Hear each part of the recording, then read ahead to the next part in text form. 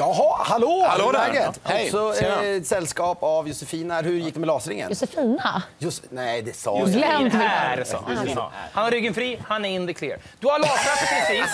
Gick det bra att? Stressad direkt. Alltså ja, det gick så bra. Det gjorde inte ont. Jag var inne på internet hela natten. Du var in på familjeliv.se. Och andra, Källa, andra hemsidor. Eh, och kollade och det stod så här, det är värre än att tatuera sig. Det värsta, så här, min kille gick dit en gång, han går aldrig mer tillbaka, det tar tio gånger. Skrämselpropaganda. Jag, enkelt. nu vill jag ha en lasermaskin i julklapp. Alltså det var riktigt, jag vill det.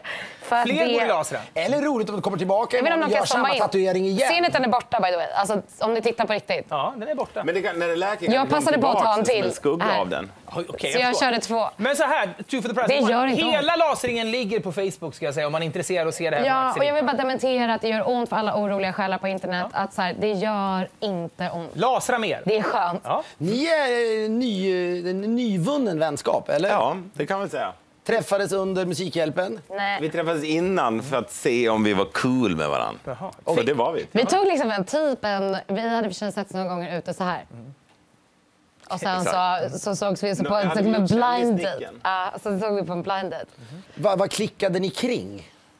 Att vi var inlåsta i en bur i sex dygn. Ja, men innan. Ja. Nej, men det var, ju, det var ju väldigt mycket där med att alla är tråkiga.